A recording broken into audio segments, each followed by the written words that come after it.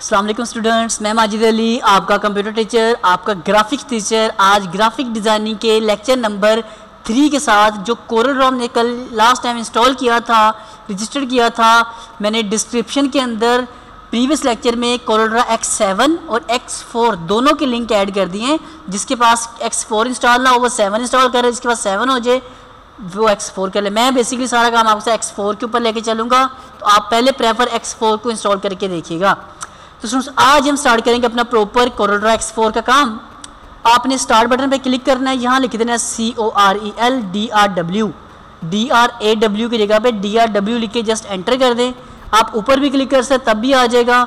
मैं एंटर का button press करता हूँ तो जहाँ भी होगा सर्च होकर मेरे सामने, खुद ब खुद ये मेरा सॉफ्टवेयर अभी आपके सामने आपको नज़र आना स्टार्ट हो जाएगा। तो आज इस कोरोड्रा के अंदर इसका इंटरफेस इसमें टूल्स जो बेसिक बेसिक ज़रूरी ज़रूरी चीज़ें हैं इंपॉर्टेंट काम है, वो मैं स्टार्ट करूँगा। बेसिक इसलिए बोलता हूँ, क्योंकि हर कोर्स में आपको बेसिक जब तक क्लियर नहीं है ना, मैं नहीं कहता कि आप लोग किसी अच्छे लेवल पे जा सकते हो।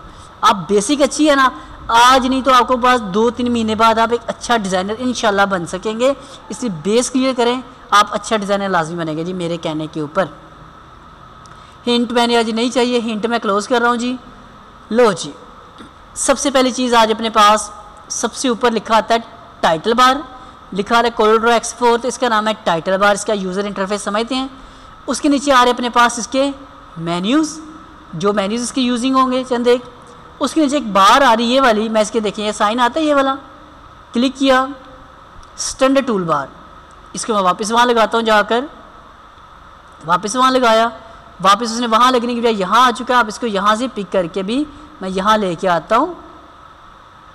वो वहाँ लगी, दूसरी बार दरअसल आगे चली गई थी, उसकी वजह से जिसका नाम है अपने पास, एक और बार आ रही बाई डिफ़ॉल्ट नाम है प्रॉपर्टीज़ बार मतलब जो चीज़ सेलेक्ट होगी, उसकी प्रॉपर्टीज़ जो उसका कंट्रोल मिलेगा, वो सब हमें यहाँ मिलेगा। मैं इसको वापस पकड़ता हूँ, वापस वहाँ लगाता हूँ जाकर, ये भी लग गया। लेफ़्ट साइड के ऊपर आ रहे, इसके सारे के सारे इस्तेमाल होने वाले टूल्स वो हमने स्टेप बाय स्टेप सीखने। सेंटर में आ रहा है पेज जहाँ पे हमने सारा का सारा करना है जी, काम। राइट साइड पे आ रहे अपने पास एक बनी हुई कलर प्लेट जहाँ पे हमारे पास मुख्तलिफ़ किस्म के हमें कलर नज़र आ रहे हैं। ले जी, अब आज अपना काम हम स्टार्ट करना चाहूँगा आपके साथ इस वर्किंग एरिया के ऊपर। अगर आपका वर्किंग एरिया पहले नंबर पर इस तरह जूम ज़्यादा कम या जूम ज़्यादा हुआ हो तो पहली शॉट की शिफ्ट का बटन प्रेस करके एफ़ फोर कर दे फिट टू पेज अगर आपका पेज कभी इस तरह जूम इन या जूम आउट ज़्यादा हो जाए मतलब सेंटर में प्रॉपर ना नज़र आए, उसको अपने F4 करके, जैसे मैं देखिए, मैंने जूम किया शिफ्ट F4 किया तो उसको अपने पेज में सेंटर में फिट कर लेना है। पहली चीज़। दूसरी चीज़, जब आप इस पेज के ऊपर क्लिक कर देंगे तो जो ज़रूरी चीज़, सबसे ज़रूरी, अहम इम्पोर्टेंट काम है, वो क्या है? क्लिक करने के बाद आपने यहाँ पे आते हैं यूनिट्स आपने फैसला करना है कि आपका जो पेज है, वो किस स्केल के ऊपर काम करे। जैसे ऑटो कैड होता है ना, उसमें भी हम काम करते हैं इंचज़ में फिट में, इस तरह। कोरोड्रा के अंदर भी हम इसके यूनिट सेट करेंगे स्केल सेट करेंगे। आपका कुछ भी यहाँ पे और सेट हुआ हो सकता है फिट हो सकता है यार्ड्स हो सकता है पिक्सल हो सकता है, आपने लाजमी क्या करना है, इसको जाके कर देना है इंचज़ बाय डिफ़ॉल्ट इंचज़ आएगा, सबसे अच्छी बात है, नहीं आए तो आपने से जाके इंचज़ को कर देना है क्लिक इंचज़ हो गया। इंचज़ करने के बाद फिर फैसला करना है कि आप किस साइज़ के ऊपर काम करना चाह रहे हैं। यहाँ पर प्री सेट पहले से बने बनाए कुछ साइजेस आ रहे हैं। Letter size legal size A three A four A five letter तो स्टैंडर्ड साइज़ हमारे पास। जितना हमने काम करना है मैंने आपके साथ मैक्सिमम जो काम होगा वो मैं करूँगा आपके साथ ए फोर साइज़ के ऊपर। ए फोर पर क्लिक किया तो ये पेज का मेरे साइज़ आ गया। आप देखिए, जैसे मैंने ए फोर चेंज किया, यहाँ ये मिलीमीटर हो जाता है। तो मैंने जैसे पहले बताया आपने इसको इंचज़ कर देना जाकर। इसका साइज़ आ रही है eight point two six eight inches और इसकी जो ऊपर जो लेंथ आ रही है हाइट जिसे बोलते हैं वो है eleven point six nine three तो अब हमने पेज की कर दी सेटिंग पेज की सेटिंग करने के बाद नीचे एक बना रही है प्लस का बटन इस पर क्लिक करके आप एक और पेज यहाँ पे ऐड कर सकते हैं। एक पेज ये वाला, एक पेज हो गया ये वाला। अब मैं पेज वन पे क्लिक करता हूँ। सबसे पहली चीज़ ये आ रहा है रिक्टेंगल मैं क्लिक करके ड्रॉ करता हूँ रेक्टेंगल उसका कलर जा कर देता हूँ रेड कलर का। दूसरे पेज पे चलते हैं। यहाँ भी एक मैं रेक्टेंगल ड्रॉ कर लेता हूँ। कलर उसका मैंने कर दिया ऑरेंज वाला। दो पेजेस दोनों के ऊपर आ रहा है कलर अलग अलग अब मैं एरो टूल जिसका नाम है pick tool selection tool pick tool आपने पिक टूल पे क्लिक किया जैसे पिक टूल करेंगे पेज वाली ऑप्शन सामने आ जाएगी। अब अगर मैं इसमें क्या करता हूँ, मैं इसमें काम कर देता हूँ, मुझे ये वाला जो डॉक्यूमेंट है ये वाला पेज है। मुझे इसको रखना है जी थोड़ा सा मैं कहता हूँ, ये मेरा डॉक्यूमेंट शेप है, लंबाई के रुख बनानी मैंने। एक जो ये वाला काम है, ये इस तरह रहे जैसे पहले आ रहा है। ऊपर से नीचे आ रहा है, ठीक है। जो दूसरा पेज टू है ना, इसके ऊपर मुझे पम्फलेट बनाना है जो उसका लैंडस्केप में होगा, ना कि पोर्ट्रेट में। तो यहाँ हमारे पास मैं शिफ्ट एफ़ करता हूँ जूम ज़्यादा हो गया देखें ये आ रहा है पोर्ट्रेट लंबाई में ये आ रहा है लैंडस्केप चौड़ाई में। अब देखें इसके चौड़ाई मैंने किया। ये अपनी जगह पर बिल्कुल ठीक आ गया। अब पिछले वाले पेज को जाकर वेरीफाई करते हैं। उसने क्या किया? इस पेज को भी क्या कर दिया? इसने उसको भी कर दिया आपके पास। पूरा पूरा पोर्ट्रेट मतलब मैं ये चाहता हूँ पेज पे दोबारा क्लिक किया, यहाँ क्लिक करते हैं। मतलब ये मैंने एक डिज़ाइन बनाया हुआ है जो पूरा पूरा ए फोर के ऊपर आ रहा है। इस तरह करके। उसके बाद जब दूसरे पेज पे चलता हूँ मैं, अब वहाँ डिस्टर्ब हो जाता है जाकर, क्योंकि वहाँ भी पोर्ट्रेट है। एक पेज मैंने पोर्ट्रेट रखना है, दूसरा पेज मैंने लैंडस्केप ही रखना है। तो ऐसे काम के लिए आपने क्या करना है? पेज पे क्लिक करें।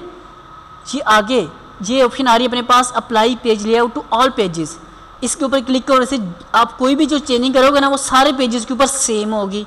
आप उसकी जगह पे क्लिक करते साथ लिखा आता है apply page layout to current page only कि जो पेज सेलेक्ट है, सिर्फ़ उसके ऊपर ये चीज़ अप्लाई हो, बाकी जगह पे अप्लाई ये चीज़ नहीं होनी चाहिए। आप इसको चूज़ कर लें। अब देखें, इसको मैं कहता हूँ लैंडस्केप इस पर हमने पहले ऑलरेडी रखा हुआ था अपना पोर्ट्रेट वाला तो उसने क्या कर दिया, ये देखिए ये पेज अलग हो गया, ये पेज आपका अलग हो गया। तो ये बड़ी ज़रूरी चीज़ जो हमने यहाँ से सीखने हुए आए। आप पेज का साइज़ अपनी मर्ज़ी का मैनुअल भी कर सकते हैं, लेकिन जब ज़रूरत पड़ेगी, जब मैं कोई फ्लैक्स वगैरह डिज़ाइन करूँगा साथ आपके, उसको मैनुअल भी करेंगे। फ़िलहाल इतना करके देखें, यहाँ तक चीज़ आपको उम्मीद करता हूँ समझ आई होगी। अब कुछ दो चार टूल समझ लेते हैं जो ज़रूरी है हमारे लिए। मैंने इसको डेल किया। ये पेज आ रहा है, मुझे नहीं चाहिए, इस पर राइट क्लिक करता हूँ डिलीट कर देता हूँ। सिर्फ़ सिखाने के लिए पेज बनाया था, ताकि आपको कॉन्सेप्ट बने। शेप को क्लिक किया डिलीट का बटन प्रेस किया शेप हमारी उड़ गई।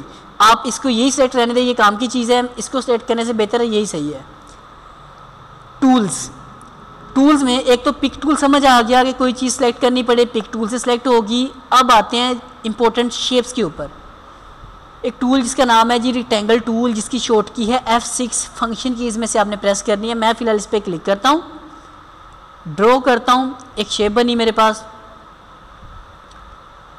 कभी कभी क्या होता है, आप शेप ड्रॉ करते हैं, उसमें कलर खुद ही पहले ही आ जाता है। इस तरह भी होता है। अभी मतलब कुछ लोग, आप जो डिज़ाइनिंग के ऊपर काम कर रहे होंगे, आप जो कुछ ड्रॉ करेंगे ना, अभी ये मर रहा है खाली तो इसमें कलर भी आ जाता है। तो पहले आपको मैं शेप समझा दूँ। क्लिक किया क्लिक किया डिलीट किया, पहले शेप समझ लेते हैं, फिर मैं इसमें कलर का कॉन्सेप्ट आपको क्लियर करता हूँ। देखें, एक तो इसके ऊपर क्लिक किया ना, एक रिक्टेंगल बना कुछ यूँ। अगर आप इसके ऊपर क्लिक करके रखेंगे एक और ऑप्शन आएगी, लिखा है थ्री पॉइंट रिक्टेंगल आप एक क्लिक यहाँ करके एक लाइन खींची और माउस को थोड़ा सा मूव किया तो ये देखें। इस तरह एंगल में कोई रिक्टेंगल आपको लगाना पड़े तो वो हम इस ऑप्शन से लगा सकते हैं। कोई आप देखें ना, यहाँ से ऐसे ड्रॉ किया, यू जैसे बुक बनी होती है बुक की शेप देने के लिए उसका टॉप व्यू दिखाने के लिए ये रिक्टेंगल हमें बड़े काम की चीज़ है। वैसे वो नहीं बनेगा, वैसे वो देखें, जो पहले वाला था, मैं अगर वो ड्रॉ करता ना, वो सिर्फ़ इस तरह सीधा बन सकता है एंगल में नहीं जाता। तो इससे आप इसको एंगल में भी कर सकते हैं, काम की चीज़। फिर इसके साथ ही नेक्स्ट काम अपने पास देखते हैं जी। इसको मैं कर देता हूँ डेल सेलेक्ट किया। आप कंट्रोल ए करके इकट्ठा भी सब कुछ डिलीट कर सकते हैं। नीचे बना आ रहा अपने पास, नाम है एलिप्स जिसकी शॉर्ट की है F7 आप F7 जैसे मैं इसका F7 प्रेस करता हूँ एलिप्स आ गया। इसके एलिप्स ड्रॉ करना शुरू कर दिया मैंने। ड्रॉ करता हूँ विर्थ लाइन मेरी मर्ज़ी से कंट्रोल और जैसी चाहूँगा वैसी बना सकता हूँ। आप इसको ड्रॉ करते करते ना कीबोर्ड से कंट्रोल का बटन दबा दें। उससे क्या होगा सर्कल कोई टेढ़ा मेढ़ा नहीं होगा, बिल्कुल उसकी रेडियस गुलाई बिल्कुल एग्जैक्ट बनेगी आकर। देखिए, वैसे कंट्रोल मैंने अब नहीं दबाया, मैं ड्रॉ कर रहा हूँ, इस तरह भी हो रहा है, इस तरह भी हो रहा है, कुछ भी हो रहा है। लेकिन अगर अभी मैं कंट्रोल ये देखिए, मैंने इस तरह बनाया हुआ ना इसको यूँ कंट्रोल दबाता हूँ, इसकी चारों साइडें उसने बराबर कर दी तो अब मैं इसका क्लिक छोड़ता हूँ, उसने देखें उसको प्रॉपर रेडियस गुलाई उसकी बिल्कुल एग्जैक्ट बना दी। तो इसको बनाने का ये तरीकाकार भी है। क्लिक करके इसी पे रखते हैं, नीचे लिखा था थ्री पॉइंट एलिप्स जैसे रेक्टेंगल था, वैसे ये भी है। एक लाइन ड्रॉ की, कुछ ये देखें। इसमें भी काम हो गया। सिंपल सी बात करें तो उस पर क्लिक करते हैं। बनाने के बाद क्लिक किया कलर होना शुरू हो गया। क्लिक किया कलर होना शुरू हो गया। ये बात। फिर मैंने बात आपसे जो की, मैंने ये बोला कि इसके अंदर कलर पहले से भी आ जाता है कभी कभी वो कभी कभी क्यों होता है? बहुत कभी कभी बड़ी टेंशन बनती है कि क्या यार ये मैं कलर नहीं करना चाहता, खुद ही कलर आ जाता है। कभी कभी हम कलर करना चाहते हैं कलर नहीं आ रहा होता। अब जैसे अभी मैंने शेप ड्रॉ करनी है, मैं पहले कलर पे क्लिक कर देता हूँ। मैंने रेड कलर पे क्लिक किया, जो मैसेज है उसे आपने ओके कर दिया। अब अगर मैं कोई शेप जाकर ड्रॉ करता हूँ ना तो उसके अंदर पहले से ही कलर आ जाएगा। बात समझ आ गई? ड्रॉ करता हूँ जो कलर आपने सेलेक्ट किया होगा, वो आपका शेप के अंदर कलर आना शुरू हो जाएगा। क्लियर बात? कंट्रोल ए करके डिलीट किया। अब अगर जैसे शुरू में हम लोगों ने काम किया था ड्रॉ करने से कभी कभी होता है, हमें डिज़ाइन बनाते हुए ना कलर फिल नहीं चाहिए होता। आप इसका फिल कलर ख़त्म करने के लिए क्या काम करेंगे? मैं क्या काम करता हूँ? अब फिर वही कोई सिलेक्शन टूल लेके कोई टूल सेलेक्ट नहीं किया रेक्टेंगल एलिप्स वगैरह। पहले आपने इस कलर को क्लिक करने के साथ ऊपर ये देखें एक क्रॉस नुमा आ रहा है बॉक्स बना हुआ आपने इसके ऊपर क्लिक करना है। ये कलर्स खाली करने के लिए होता है। इसे आपने ओके किया। अब अगर आप कोई रेक्टेंगल ड्रॉ करते हैं तो फिर जो कलर था, वो कलर बना आपको नज़र नहीं आएगा। प्रॉपर डायरेक्ट बॉक्स आपका नज़र आना शुरू हो जाएगा। तो यहाँ तक का कॉन्सेप्ट आपको उम्मीद करता हूँ समझ आया होगा। इंस्टॉल करके इतना टूल इतना कॉन्सेप्ट समझ के बाकी शेप्स को भी ट्राई करके देखिएगा, जो मैं स्टेप बाय स्टेप के साथ लेके चलूँगा। तो अगर आपको ये मेरा लेक्चर अच्छा लगा तो प्लीज़ कमेंट्स करें, इसको लाइक करें मेरे अगर अभी तक आपने मेरा चैनल ही सब्सक्राइब नहीं किया तो उसको लाजमी सब्सक्राइब कर लें। मैं आपके साथ बहुत सारे कंप्यूटर कोर्स लेके चल रहा हूँ आकर आईटी वेब बहुत सारी चीज़ें आ रही हैं। तो मेरा मानना है कि जो ज़्यादा चीज़ों में अपने इस मुआरे में स्किल्स रखता है, वो ज़्यादा कामयाब है।